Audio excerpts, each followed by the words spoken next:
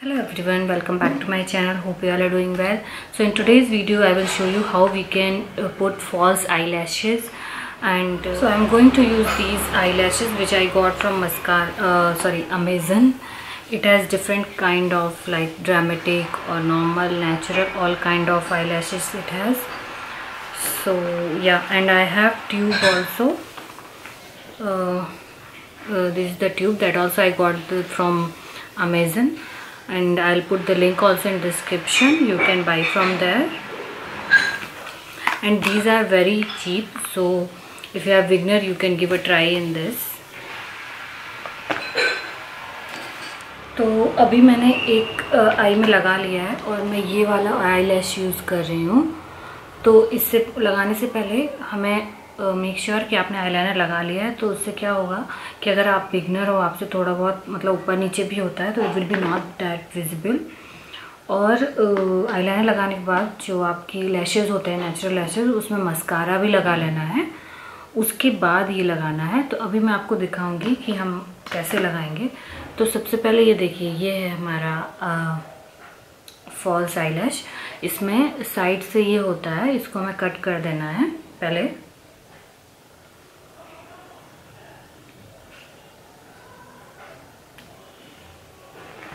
फिर आपके जो नेचुर उस इसको थोड़ा सा ऐसे कर देना है तो मतलब it will be not that hard it will be easy to apply उसके बाद जो आपके नेचुरल लैशेज होते हैं उसके ऊपर रख के देखिए कि uh, बड़ा है कि सही है।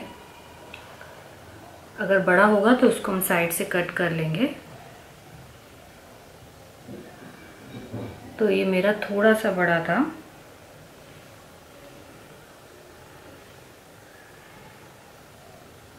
वैसे रख के देखेंगे, आपको पता चल जाएगा। थोड़ा सा बड़ा है, मैं इसको कट कर लेती हूँ। ध्यान से कट करिए।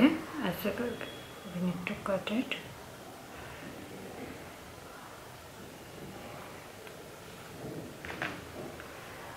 ये देखिए, अभी हम क्या करेंगे, इसमें ग्लू लगाएँगे। ग्लू कभी भी डायरेक्ट नहीं लगाना है। अगर आप डायरेक्ट लगा दें तो कभी कभी ज़्यादा आ जाता है, वो मैस हो जाता है। मेरे साथ ऐसा हो चुका है दैट्स वाई एम टेलिंग तो मैं क्या करूँगी थोड़ा सा अपने हाथ में ले लूँगी।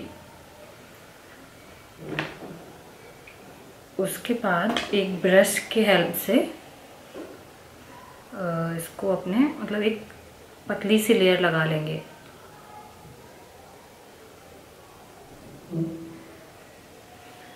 इसको लग जाने के बाद will wait for twenty second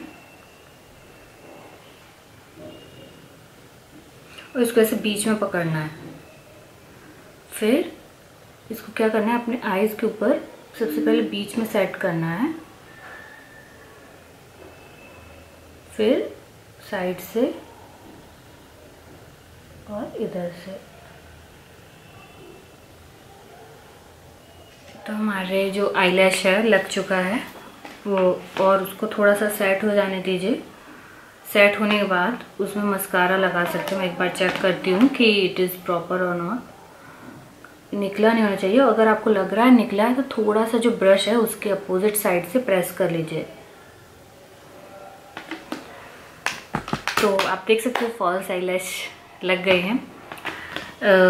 starting में थोड़ा सा डिफ़िकल्ट होता है बट एक बार आप जब यूज़ टू हो जाते हो तो बहुत ईजी होता है। बस एक प्रैक्टिस होने की ज़रूरत है। Even I am not that much comfortable in false eye lashes but I thought की let's give a tutorial so या hope you guys like it if yes please give a हम सब subscribe my channel and do not forget to like and share the video see in this next video to learn bye